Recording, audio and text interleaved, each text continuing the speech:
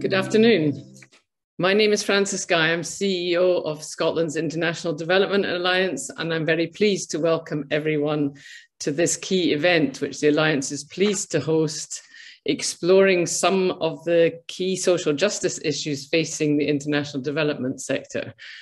A sector, let's be honest, that is defined by the historical legacies of colonial rule and all that means in terms of power dynamics and potential for racist and paternalistic attitudes. We were able to explore some of these dilemmas in our annual conference in December in a session called Tackling the Talk. That session got the highest positive feedback of any session at our conference from participants. And it also got the highest demand for follow up. So we're very pleased today to be able to hold this event with an amazing panel so that we can commit to having that follow up discussion. I'm pleased to welcome members and non members of the Alliance to this event.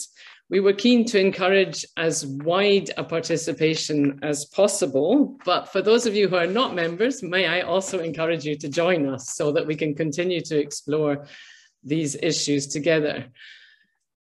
Can I also ask all attendees to adhere to the Alliance Safe Spaces policy and treat everyone here today with respect? The Safe Spaces policy is linked in the chat so that you can see it. The second part of the session, which will start just after three o'clock, will take place place on a second separate Zoom link, which will also be shared in the chat and which has been sent to you by email and will be resent to you by email. After entering that separate call, you will be introduced to the facilitators of the breakout groups and then be transferred to your breakout group. I hope that's clear, but if you have any questions, please do put them in the chat. And if you have any questions for the panelists, please do use the Q&A function during the first panel session. And I know that our chair will be very happy to take some of those questions on board. It's my great pleasure to introduce you to the chair of the panel, Lena Bheeroo. Lena is an anti racism activist, organizer, and curator of events across international development.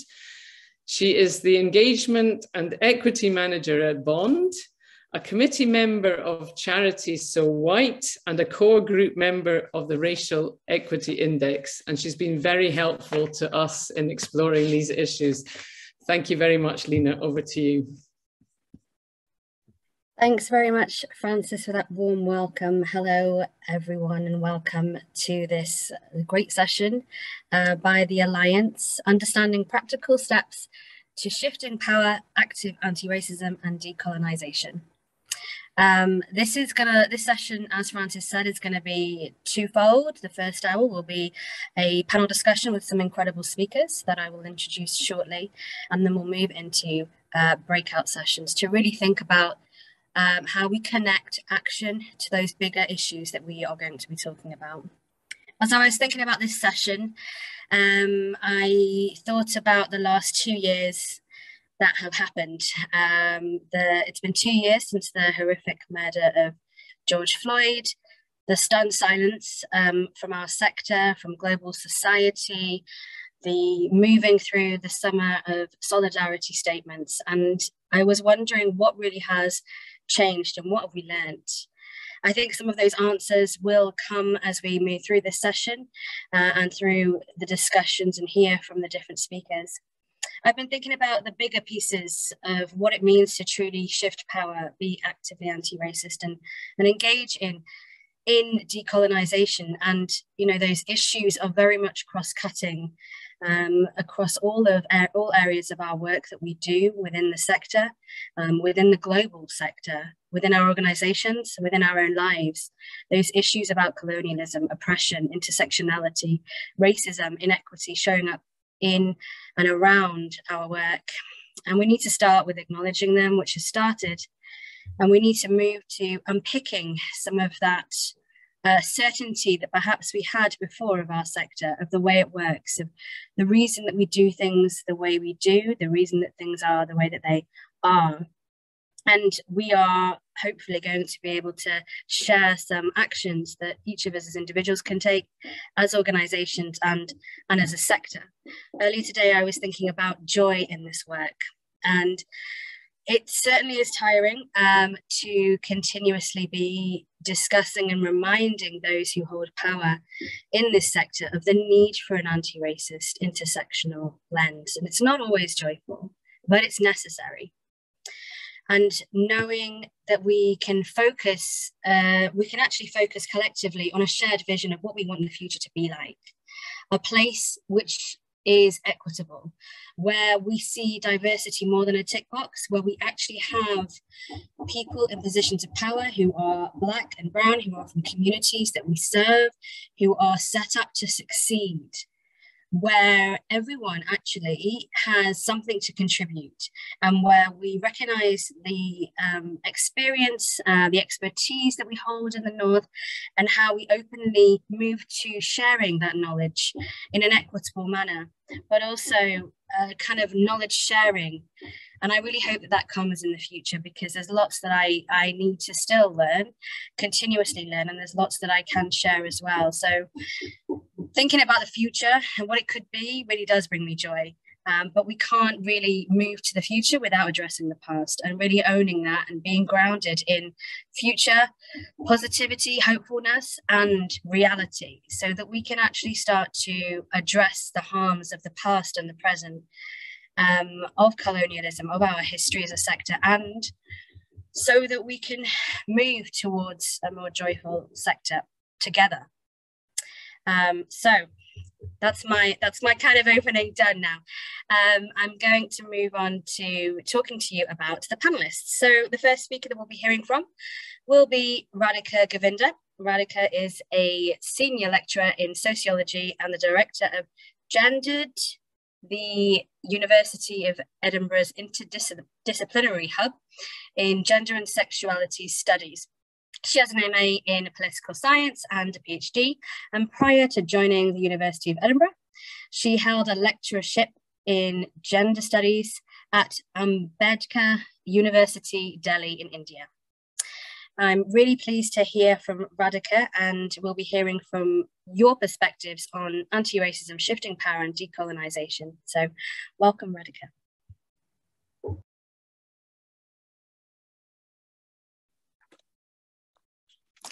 Thanks for that um, lovely introduction, Lena. Um, and thank you to the organizers, in particular, Cat Court, for inviting me. Um, let me begin by saying that I'll be speaking from the vantage point of an academic um, who teaches and researches the gender politics of development. Hopefully, this perspective will complement the practitioner perspectives that other esteemed speakers on the panel shall provide. Um, I should also say that many of the students who take um, my courses at the university go on to become development practitioners. Some of them are already development practitioners interested in finding academic explanations for the conundrums that they find um, in the field of practice. So hopefully um, what I have to say will be of some interest um, to you all. Now, the brief given to me was to discuss how gender intersects with coloniality in the practices of development. But before I do this, I'd like to define what I understand by coloniality, by colonialism, and the new buzzword on the block, decolonization, or not so new buzzword now. Um, in contrast to the historically specific um, acts and periods of colonialism in the global south, which are deemed long over, coloniality persists in our everyday life, in academe, in individual and collective understandings of self and society. For me, decolonizing is about disrupting the ways in which white bodies have established privileged relationships to indigenous lands, labor, natural resources, and what counts as knowledge itself. Avino Kesh argues, and I agree, that decolonizing is about centering the voices, the perspectives, people's movements, and scholarship from the majority world. Decolonial feminism, that is an approach that challenges the white Western theory and proposal of dominant feminism is part of the conceptual toolkit I try to equip myself and my students with, so that every thematic session on my gender and development course, for instance, be it the session on health and reproductive rights or on education or environment, is examined through this lens. I encourage the students to reflect on the coloniality of development and ethnocentrism in development knowledge production. But these are big words, big ideas. As a feminist academic of color from the global south, I've been thinking about these concerns for some years now. But just because I'm brown or from the majority world does not mean that I'm disembedded from the colonial enterprise. I too am a product of a system of knowledge that is predominantly Western. Reflexivity about one's own positionality is then really key. And this is something I try to emphasize in my interaction with my development studies students. I also try to think of decolonizing as a journey, not a destination, a process, not an outcome per se. There are several blind spots, several dilemmas that I still need to interrogate, others that I'm in the process of addressing. I won't get into this, but I'll be happy to um, give an example in the Q&A if you like. Um, let me move on to um, another point um, that I'd like to make, which is that I encourage my students to employ a comparative lens for what, because of what it has to offer. It often leads to a questioning of the supposed superiority of the West, um, sort of questioning that, and of the rest playing catch up to it in terms of progressive ideas and development and sheds light on the diversity within this rest. Let me give you an example here. Uma Narayan compares and contrasts in her book, Dislocating Cultures, Identities, Traditions, and Third World Feminisms, dowry murders in India with domestic violence murders in the United States. She questions the ways in which culture is invoked in explanations of forms of violence against third world women, while it is not similarly invoked in explanations of forms of violence that affect mainstream Western women. She argues that such asymmetries in cultural explanation result in pictures of third world women as victims of their own culture in ways that are interestingly different from the way in which the victimization of mainstream Western women is understood. While Narayan invites us to compare and contrast extreme domestic violence in India and the US, I similarly invite my students to reflect on queer and trans politics in contemporary UK, India, and Uganda. On my courses, I have students from all over the world. What matters is not only the act of inclusion, but also the terms of inclusion here. My understanding of an inclusive classroom is one which recognizes that we don't leave our embodied intersectionalities at the door of the classroom. The social norms, structures, and processes that differentially confer power and privilege upon individuals outside of the classroom also operate within it. In fact, that, that's the same. The same is true of the real world of development practice that my students are about to step into. Typically, at gender and development conferences and NGO forums, these intersectional inequalities, not least the polarity between the global north and the global south, tend to get reproduced. What with sessions on theorizing being led by those from the global north, while stories from the field being led by those from the global south, what with funding being dispersed by global north actors or the privileged few within the global south leading um, development institutions and others from the global south remaining accountable to them. So I equip my students to interrogate and disrupt coloniality in development practice by asking difficult questions. Here I introduce another buzzword, intersectionality, which in its original radical form was conceived as a mechanism for understanding that gender does not exist in isolation from race, caste, class, um, age, ability, sexuality, and so on. I encourage my students to ask how and why should intersectionality matter to development people? What role do the intersecting identities that the development practitioners themselves embody play in the development interventions that they're engaged in? Does a strategic use of one identity category help unconsciously to discriminate against other identity categories? These are important questions that I encourage, as I said, my students to ask. And let me pause here with a plea that the onus of decolonizing development practice must be on all of us, on academics as well as activists and practitioners, on those from the global south as well as those from the global north, on white colleagues, and not just on people, especially women of color. Thank you. Thank you so much, uh. Really great points there, and I know you could have unpacked them a lot more. I really liked that whole uh, practice of interrogation and disruption, and I wonder how far that could go in, in our sector if, if practitioners and, and us living and being in these systems actually actually had that that space and grace to to to employ those those approaches. Thank you very much, Radhika. Um, we'll now move on to our next speaker, uh, who is Danny Sriskandarajah. So Danny has been Chief Executive of Oxfam GB since January 2019. Uh, previously, he was at Civicus um, and the Royal Commonwealth Society as well. Danny's going to be talking to us about the INGO perspective. So Danny.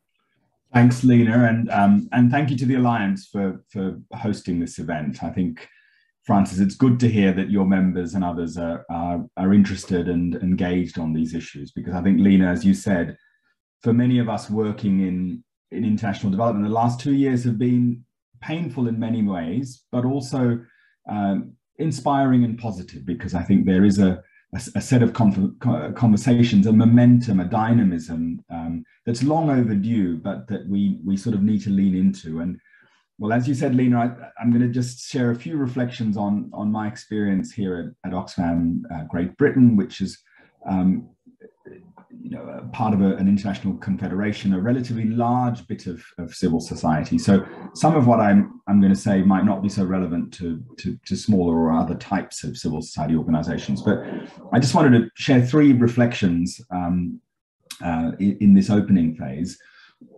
One is this really is has to be about all of us. I think um, Radhika said it and you said it, Lena, but let me say it again, you know, and, and in a really practical way. I remember starting at, at Oxfam in early 2019 and one of the first things we did was have a, we invited an external speaker to talk, to do an all staff session uh, on, on race. It was called Let's Talk About Race. And it was facilitated by a, a, a leading UK uh, race advisory group. And um, I remember very clearly people coming to me afterwards and saying, well, what a relief it was that an international development NGO was finally talking about race in, in a sort of explicit way. I also remember white colleagues coming up to me and saying that how empowering and, and important it was to have conversations that, that involved them. And that led to a, a set of open conversations that, that involved uh, white colleagues um, uh, uh, talking about these issues. And eventually, it led to us, I think, recognizing in our case, we couldn't have separate conversations about, um, for example, equalities um, in our UK workforce and a separate conversation about how power works inside our own confederation, particularly um, how sort of northern bits of an international development NGO relate to the rest of it and and there's lots of other things that, that in between. And so we ended up um, in a practical way trying to have one big conversation which as you can imagine was, is incredibly difficult but we found it very liberating because we knew that we would have failed if we ended up with a very good equalities policy that promoted diversity and inclusion in the UK, but failed to address the complaints heard by our partners or even colleagues in country who said, you know they feel like they're at the end of a very long and disempowering chain in the sort of development ecosystem. Colleagues who say that you know money may well trickle down but power doesn't. And so one of the approaches or a key element of our approach was to try to make sure we had a holistic conversation that joined the dots between uh, equalities decolonization partnership.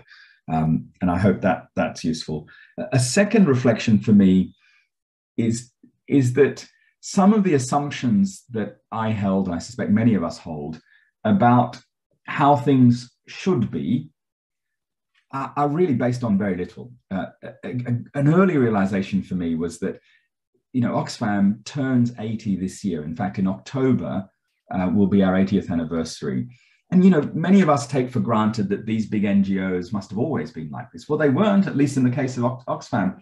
You know, the amazing thing about Oxfam, or one element of it, is we were founded by volunteers, and for you know almost two decades, we were an entirely volunteer-based organization, founded and headquartered in, or you know, the, the center of or action in in Oxford, with no staff, and in fact, no programs anywhere in the world.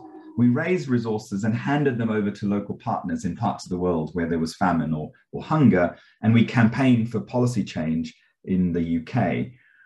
And it was only really from the 1960s onwards, as we started to sort of formalize overseas development assistance, when we, like many other international NGOs, started to set up offices in the global south and, and, and became more global entities. And, you know, for good reason. We, we professionalized, we bureaucratized, we systematized what we did. And but it does almost feel like we need to go back to the future. We need to rethink the sort of architecture that we've built up in the in the aid system, which, as Radhika says, is almost sort of a, a relic of a different era. And and we, I think, have to lean into that question and say, well, you know, in our case, it might be going back to the future and and, and nurturing some uh, some um, some bits of our history that, um, that that might be better fit for purpose. But for each of us in different bits of the aid system, I think there is an obligation on us to to challenge the assumptions we make about how systems have to work, how accountability needs to work, how budgets need to be reported, and, and a whole range of other other artifacts, if you will, um, that that we need to question. And my third and final reflection is, um, if we do that, if we do that well, if we have a holistic conversation, if we question some of those assumptions and slay some of those sacred cows, then to me, the ultimate realization is this is the key to making a more effective civil society. You know, we live in an era of human history where, you know, states are failing us, markets are failing us. And we, those of us in civil society, particularly those of us who care about internationalism and solidarity, I think, have a particular responsibility to come up with bold solutions. And that includes formations, institutions, networks, movements that are representative and, and decolonized and fit for future purpose. Because we sort of have to lead by example, and civil society at its best has been about testing new things, skirting controversy. Um, uh, and I think this is another moment where we have to lead by example. And if we do it, we'll maximize our chance of delivering a, a, far more just and sustainable world in which we will drive or at least be at the vanguard of that change rather than struggling to sort of to react to to all sorts of other forces so in some ways this is a you know the frances why i'm so excited about the interest in this conversation because to me the, these conversations hold the key to unlock the potential of our sector or all of our institutions if we do it well. And that's you know all the more reason we need to pay careful attention. Thanks, Lena. Thanks very much, Danny. Um, really great points there. I've written, yeah, took lots of notes from what you were speaking about. Um, how things are uh, based on very little. And I think building on that and the way that the system is at the moment, sometimes we forget. We think about shifting power out there and actually forget that that we have responsibility as INGOs, as individuals working in the sector, we have power to change things. Um, it's not just something that happens out there. Um, and really connecting those two conversations about the discussions going on in the North and what it means for working in partnership with communities around the world. Um, it opens up a more complex conversation, something which I don't think we should be shying away from at all. And, and it's an opportunity for us to get ahead of these. Thank you very much, Danny. Um, and our final speaker is Hamimu Masudi, who is a communications professional, policy analyst, and a social mobilizer based in Uganda. So he's been designing and implementing social justice campaigns for development and humanitarian actors across Africa and beyond. And currently, Hamimu is the policy and campaign officer at Health Poverty Action and co-chair of track changing subgroup of the Kampala Initiative. Welcome, Henry.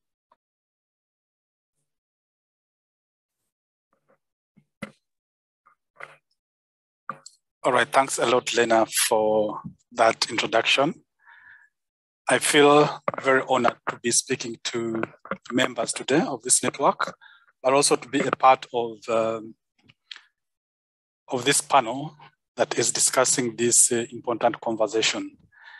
I am going to be a little bit different from the uh, earlier presenters. I carried with me a presentation, so bear with me. I'm going to interrupt your, your views, but uh, I, I am going to discuss um, a few things building on what um, Radhika and uh, Danny have brought out very clearly. I picked up uh, a very important quote from uh, from Danny that uh, money can trickle down, but power doesn't. That was very powerful. Um, one minute.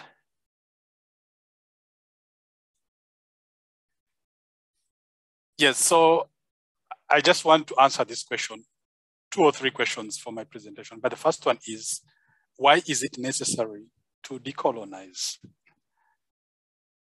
Well, there are very many reasons, but I'm going to focus on, on these uh, three.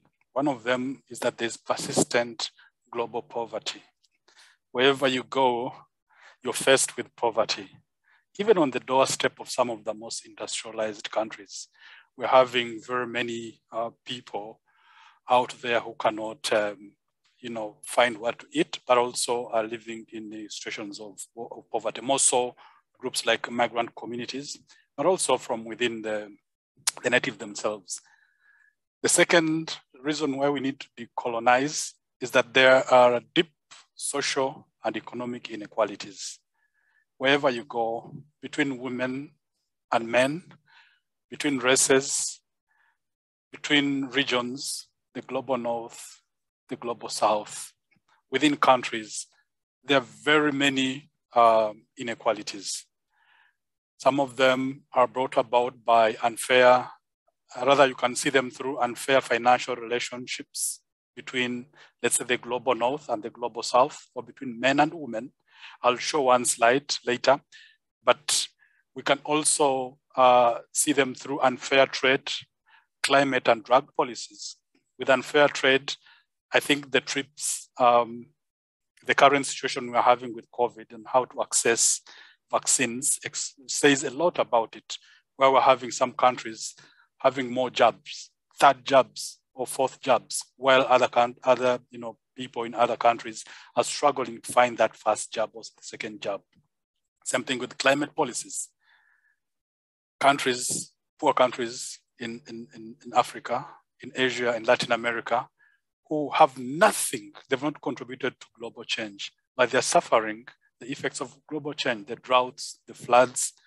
Meanwhile, the ones who are responsible for this are not even paying taxes. They're being let free. They're doing all things they want to do. The third bit is about the need for a framework for global solidarity. That's why we need to decolonize. We need this framework on how we should move forward, how we should live together.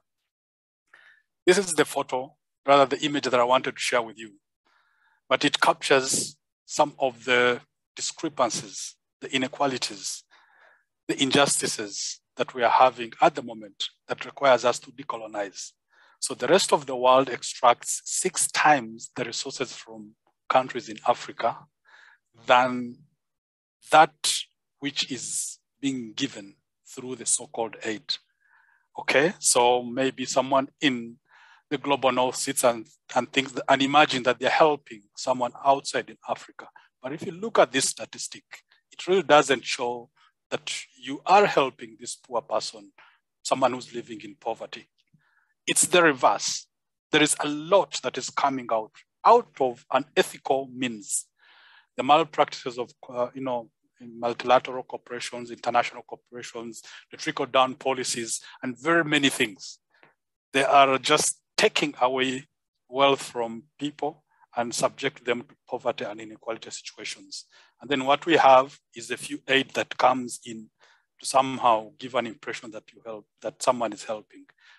But yeah, this is the framework. This is the situation that we are currently operating in that needs to change. And that needs can be done by applying some of these principles of decolonization. What are we decolonizing? I won't say much about this, but I think uh, Dan brought that very well on what Oxfam is already doing. But I think um, what we need to decolonize are global policies, institutions, and also the relationships between countries. At the moment, the policies are unfair. When you're talking about the trade policies, most of them are biased. They are uh, extractive. They're taking away wealth from poor countries.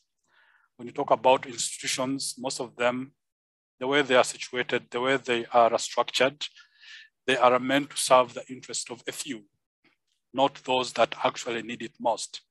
Then also need we also need to um, to decolonize humanitarianism. I think the best case is the Haitian earthquake of I think the early 2000, where we had all the money going in and all the institutions from the global north following the money, and no one is asking what Haitian people want, but they're just offering them everything. So there's a lot that needs to be done around humanitarianism. Then we have program designs, the way they are programmed. I think they have uh, Western values being imposed on the rest of the world. How we go about things, we are devaluing some of the, you know, indigenous, you know, solutions, and uh, which is not helpful and which is subjecting people to situations of poverty. Then the donor institutions, the way they are uh, churning out the support, they design for us, people in the global south, the problem statements, and then they also design for us interventions. That's patronizing. That should stop. Then the way, the way fundraising drives are being conducted. No one is saying, is telling people about the root causes of, of poor health, or poverty and inequalities. All they are saying is increase aid, increase aid, increase the giving. You know, I think there isn't a problem there. There's a lot of lies being told that needs to be changed. Then the language very patronizing language. The charity language, the aid language is not right. The capacity building, the expatriates, people who are coming down, the field people, then the expatriate people, and the, some of this language needs to be decolonized. So how can we reimagine global solidarity? So probably we need to move away from talking about poverty, tackling poverty, to tackling inequalities. I think Danny brought that very well we need to politicize development, international development. People are not poor because they were born like that. They are poor because of social determinants. There are certain structural causes and those that have historical connotations. Then we need to move from aiding people to distributing wealth. Okay? There's a lot of wealth out there that needs to be distributed. So we need to start discussing, having conversations around that. Then we need to tell a fresh story, the story of poverty, poor health, and inequality. So we need, for example, to rename departments for international development. The way they are structured at the moment, they are structured around helping out people out there. And they are somehow masking the root causes of poverty and uh, of course, most of the states that have these departments are responsible for some of those situations that are holding people in poverty. So we need to restructure this. We should stop calling it international development. We can call it something else, like global redistribution uh, departments or stuff like that along those lines. Then the mandate needs to change. We need to stop fighting poverty, ending poverty. We need to, you know, look at things like ending inequalities, eliminating inequalities. That could be probably a most empowering uh, mandate. Then we need to bring into our campaigns work a perspective of structural inequalities, such as historical uh, legacies and the current injustices in trade, and uh, also the debt conditionalities. I thank you very much. I'll end my session here and uh, look forward to uh, a conversation, a discussion after this. Thank you. Over to you, Lena. Thank you very much, Hamimu. Um, you covered so much in that presentation. Uh, I really, really enjoyed that.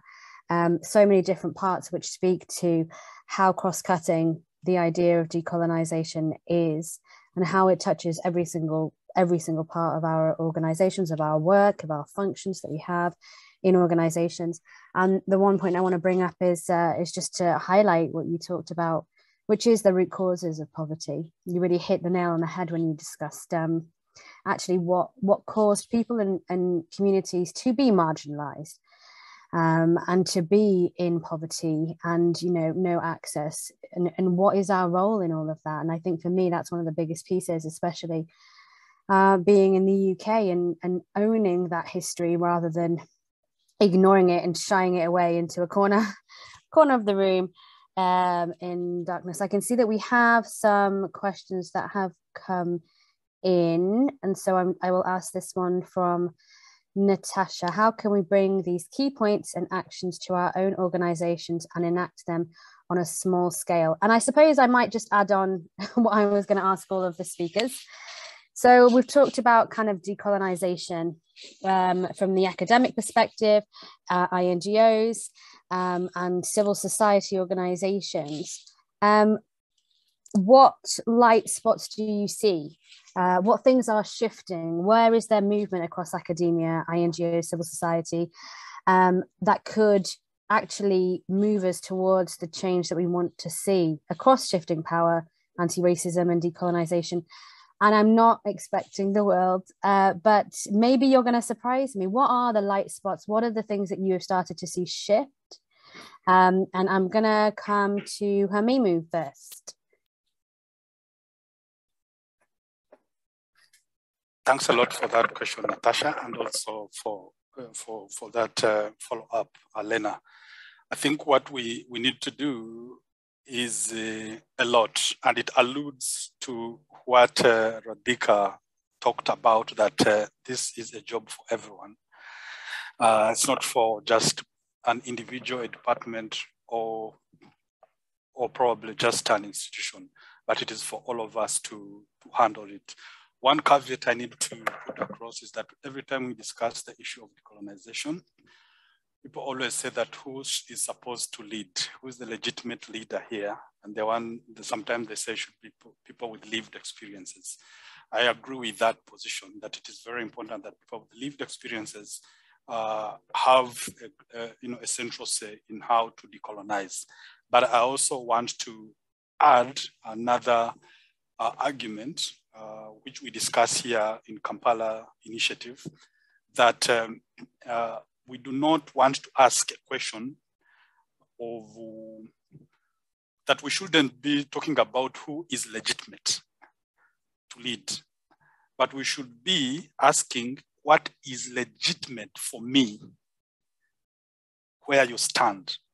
It's not about who should who has the legitimacy to lead.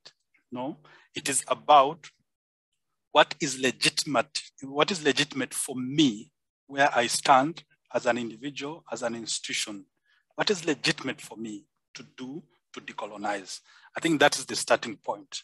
And we talk about issues of privilege at individual level. How are you using your privilege as an individual to decolonize? Most of others are using it to actually disempower, but you can use it to decolonize, to shield people, to support people, to protect them, not in a patronizing way, but in a manner that enables people to, to take the center stage and use their voice to empower themselves. At the institutional level, it's the same thing. Have you looked at your strategy, your five-year strategy? What is in there? What is the language inside that strategy? Okay, most of it has still has that language or patronizing language of going to the south to give them help, to aid them, to get them out of poverty. Excuse me, who brought that poverty? You belong to a state, a government that is responsible for extracting wealth from the global south. Ask your government to do something about it. In recently, uh, the DFID, the, the, the UK government has been, you know, cutting aid. What have you done? What have you used your power as a voter in England or wherever you are in Scotland? What, how have you used your power to challenge that government position?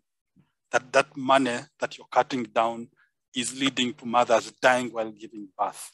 is leading to problems. It is causing inequalities. It is not helping us to decolonize. That is at an individual level. You can still engage with institutions, but still within your own institutions as an INGO, there's a lot you can do. One of them is to, you know, streamline your language. That is one. Then do the auditing. Audit your, your processes, your operations. How are you going, how are you dealing with communities in the global south? Are you giving them center stage so that they can lead in the processes of eliminating poverty or eliminating inequalities? Or you're going down and asking and telling them what to do? Just the way things were done with the Haitian people, the example that I gave after the, the earthquake. What are you doing as an institution? Are our operations? Are they sipping from the histories of colonialism that are still embedded in the policies, the structures, and the systems that are still ongoing. I can't give a specific answer, but I'll just give those broad views just to help us think of solutions on our own. Thank you. Thank you so much for that. Really, really heard. Um, and what came to mind was democracy and participation, actually connecting all of those different levels, as you talked about, Hamimu, um, institutional, individual. And for me, decolonizing certainly isn't about um, just the sector, it's about society as a whole and a global society, I think. Uh, Radhika, it'd be great to come to you and hear your thoughts on that.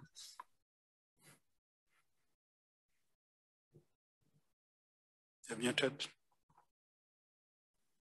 Sorry, I was just uh, furiously jotting down um, some notes based on uh, what I heard from uh, Hamimu and also the question that you'd raised, Lena.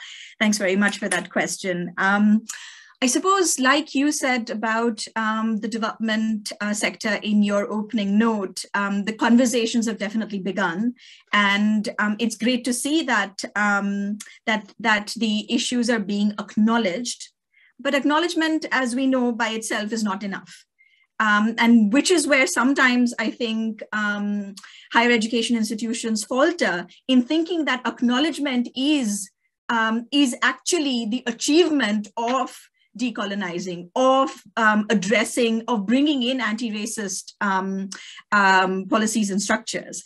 And I think that that needs to be addressed, and that needs to be addressed at multiple levels.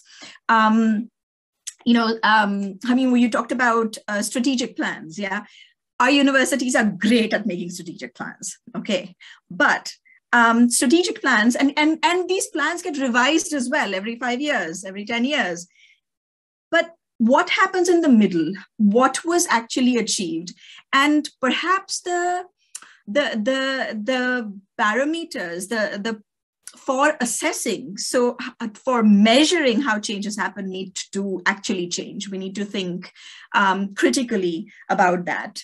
I want to give a small example. So, you know, we, we've, um, uh, our university, but our university is not alone in doing this.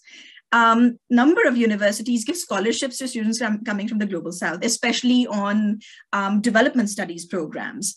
Um, but that in itself again is not enough because we if we're really thinking about decolonizing the development curriculum the development studies curriculum which is going to train our future development practitioners in different parts of the world um, we also have to ask when students come from africa when my students come from latin america when my students come from south asia when my students come from southeast asia and so on uh, from the majority world um, how included do they feel in my classroom? Have my assessment, uh, has my assessment pattern and criteria changed? Um, if they have still to write essays, so focus on writing, and in which language? English. Do they really feel comfortable with that? If we're talking about decolonizing and decolonizing language, um, including development language, which they will employ, yeah, then we need to be asking these questions in the way that development practitioners are being trained, whether in university classrooms or outside of it. Um, so that was um, that was a, a, third point. The, the last point that I'll make here is actually about um, it connects with something that Hamim was said about. You know, it's important to ask who leads. um, these initiatives. But it's also important to ask, where, you know, whether the labor of those who are leading is recognized or not. Often, especially in university context, when we're talking about um, teaching of gender and development and so on, and also decolonizing efforts more broadly, um, it is people of color from the global south, it is especially women of color who are leading this work. Because we don't have a choice. If you want to include yourself in the classroom, um, you have to talk about coloniality in a sense. But when you're doing that, well, that work is something that one has to do. But is that work recognized? Is that labor, that invisible labor, acknowledged? I think those are important questions to ask as well. Thank you. Thank you very much, Radhika. Well, that just spoke straight to my heart. Um, that point on just, yeah, are we, and mostly women of color who are leading these conversations, being set up for success or not? And are we being invested in? And yeah, all of those things are so important. I think speaks to the values of organizations as well, recognizing that in order to achieve our goals and our vision of what we want the sector to be, we need to tackle these issues. Thank you so much. Danny, um, so a few practical things. I think on the question of diversity, I think the, the charity sector, particularly in the UK, I think has been has lagged behind other sectors. I mean, you know, the business world has been talking about diversity on its boards and leadership for um, in more powerful ways than um, and more effective ways than we have. But I think the penny is starting to drop, and we're seeing now organizations being held to account. And Lena, you've been involved with Charity So White, which has been very useful at driving through some of these changes but it's about you know if you're we're focusing on the practical one of the things that's made a difference for us is we set out an ambition at oxfam gb that our leadership teams um, would be representative in gender and, and ethnic terms of the rest of the staff. Because like most charities we had two-thirds of our staff for women and about 15% of our staff were of color. But our leadership teams were nowhere near on either of those. And we set out the fact uh, uh, an ambition to match that. And we have now just about hit i think this year. Um, so we've diversified now that's a small step but it's a practical small step that um, that was really important. A second one is around an indian activist once said to me that the problem with ngos is you're obsessed with accountability not accountability you're very good at preparing accounts and budgeting and log frames, you know, or, or log frameitis, as some of us call it, the sort of obsession with, with these systems. And the problem is if you, that leads to this very sort of counterproductive, distrusting system, which replicates a sort of coloniality, I think. And uh, that we found in very practical ways that once you challenge that notion and say, actually, let's let's rethink out the forms we make our partners in the global south fill out. Let's rethink why we only give annual grants to southern partner organizations when we, as Oxfam GB, often receive long term unrestricted um, funding. And so we've started to question this notion of how we report our accountability, including our accountability to the people we serve or claim to serve or work with. And I think that's been important. And finally, um, the, the, the thing that sort of makes me hopeful. Uh, and it sounds strange for me to say that in the midst of a global pandemic and a climate crisis, is uh, uh, an Australian Aboriginal activist, Lilla Watson, said in the 1970s that if you have come to help me, you're wasting your time. But if you are here because your liberation is tied up with my liberation, then let's work together. And I do think we're at another point in human history where you know, a, a, pandemic, a crisis of, of inequality, the climate crisis, links us all together. And so if you're basing your social action or your or your collective action on some weird, outdated, paternalistic notion of, of, of, of, charitable help, then it doesn't, it's not fit for purpose for what we need. And we therefore need, uh, you know, interventions that are based on mutuality, on solidarity. And, you know, I, this is a, I hope, I, pro- I presume a largely Scottish audience. But when I sat at COP last year in Glasgow and heard the Scottish First Minister, you know, become the first government in the world to put money into a loss and damage fund because the principle of, of, of, responsibility, of shared responsibility um, around climate breakdown was really inspiring for me because it went beyond this idea of band aid or of, of, aid and into a, a sort of very different frame uh, around reparations, around justice, around um, around mutual liberation. And as a small sign that I think we are starting to make inroads, and maybe a big sign that Scotland needs to play a leadership role on, on, on some of this. Thanks. Thanks so much, Danny. Um, yeah, I concur with that. Terms of Scotland's leadership on this, it'd be wonderful to see. And I think that's also recognizing the power that you hold as a as an institution as well. Um, Danny, I love that quote. Um, and it really does bring it back to rooting this in we need to recognize lived experience and those people who do lead this work create the space for them and be in that struggle with them and be in those conversations with them and we all have a role to play no matter your gender or your race um, I just want to ask very quickly then, and I know that kind of Danny, you've answered this question, but if you want to uh, add anything else, you can. Very quickly to each of the panelists, what does bring you hope in this work? One thing that brings you hope. So, Radhika, come to you. What brings me hope is that um, is that my students are, um, and this wasn't the case about um, in 2012 when I um, moved to the UK and I moved uh, to Scotland and started teaching at this university. It wasn't the case.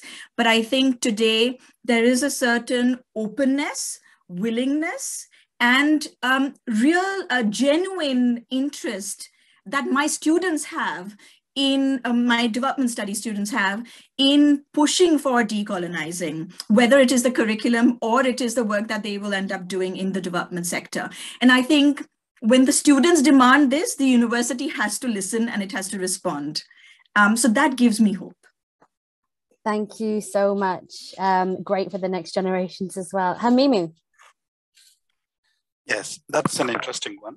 what gives me hope eh, is uh, what is happening around us. I think people are, acknowledging that uh, there are, are uh, inequalities eh? and that these are man-made, if I can use that word, human-made, okay, and that can be eliminated by actions of human beings. I think that is not to be the case. And we are seeing this uh, through actions of some actors within the sector. more so after what happened in America during the Black Lives Matter. So we're having organizations that are doing racial, you know, evaluation of their programs, of their institutions. I've participated in several of them. And uh, they are trying to change things. They're trying to look at that deep culture that, that is affecting how operations are done, even if the policies say differently, even if the policies are okay. So that is giving me a lot of hope. But also where I operate besides Health Poverty Action, the Kampala initiative, we have started to confront the issue of language. We think that the aid language is disempowering. It is masking the root causes of inequalities, the colonial legacies. And we have started to discussing alternative names aid. We are saying it's not aid. We can call it something else, maybe global redistribution, maybe reparations, maybe something new. So that's giving me hope. Thank you. Danny, did you are you happy with your happy with your submission? oh, well, I've got I've got another one if you want. It was an, it's, it's an email in front of me. At, at, received at ten seventeen this morning from a supporter of ours um, so one of the things we've been piloting at Oxfam GB is, is, a, is a women's rights fund, a community fund in a couple of countries where we work, where we've made a pledge to our partner organizations, women's rights organization, that instead of making them fill out forms for annual grants, we'll give them three-year core, completely unrestricted funding. And it's a, it's a risk in some, it's a rather obvious thing to do, you'd think, but it's a risk because of the way, and I know there are lots of questions about how we measure success and show impact. But many of us have, have bought this idea that somehow we have to, you know, show every penny spent in every way and, and, and you know, build these systems on distrust. So we've said, well, let's invert it and identify long-term partners we want to support and give them resources to pay for whatever they think is the priority. And one of the reasons we were scared is because we didn't think our supporters would come on that journey with us because we thought maybe our supporters you know really want to see these sort of strict systems of, uh, of, of, so-called accountability. And instead we've got this women's rights movement supported by some um, lots of oxfam supporters. I got an email this morning saying this is precisely the sort of initiative initiative i want to support through oxfam. Trust is in severe short supply in the world but without it we might as well all give up and go home. And i think that's you know what gives me hope that there is you know even amongst our supporters interest in supporting a much more diverse, resilient, independent civil society in which power is shared, um, in which resources are shared. And I think um, we just have to take some, you know, what might be risky uh, moves, but I think in the long term, um, we will emerge much stronger and more effective. Thank you so much. Um, risky, necessary, yes just different ways of doing things. Um, and that's the excitement for all of us to take away. Um, i know that there have been many um, interesting questions that have been posed to us in the q&a thank you very much for for asking those questions. And i would really encourage you all to join the breakout groups which we're going to go into at 10 past 3 uh, we'll be having three breakout groups um, discussing shifting power um, anti-racism practice and decolonization. And I think that the link is in the chat for you there. Um, so please do bring your questions into those. We will be uh, facilitating some of those. So Hamimu um, and two other facilitators will be joining us there. But I am aware that we have a break in two minutes. So I would just like to thank all of our speakers. I know this is a topic that we could really talk for a long time on. Um, and thank you so much for the engagement and the interest in coming to this session. It really is one that we need to keep the momentum up on. Uh, we have started, we have not finished. We may never finish, but we need to come together um, no matter where we are situated in the world and really reckon with some of those really deep, deep embedded issues um, like colonialism, like our impositionality to power, like racial equity and gender equity in order for us to get to a better future. And I think a one that definitely will be uh, leading on all of our expertise and all of the, the skills that we can share together in a collaborative way. So it's really exciting to to be part of this conversation, to hear these incredible speakers. Thank you so much, Hamimu, Radhika, and Danny.